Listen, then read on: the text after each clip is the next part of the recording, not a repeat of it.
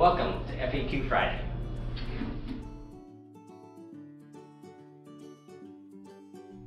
The three R's, reduce, reuse, and recycle, all help to cut down on the amount of waste we throw away. Practicing them helps conserve natural resources, landfill space, and energy. Reduce is the most important step on the waste hierarchy. Less stuff means less to deal with as waste. Reducing begins with looking at what you have and asking yourself following questions. Do I really need this item?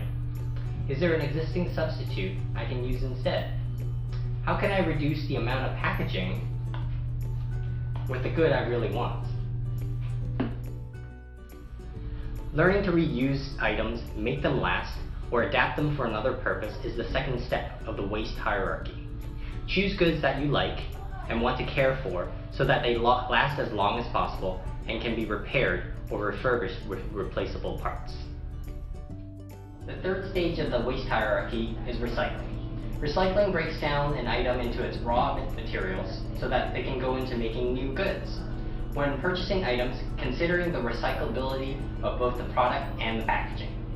Since recycling depends on access to markets and facilities, visit rcbc.ca or call the hotline for the most up-to-date information on all things recycling.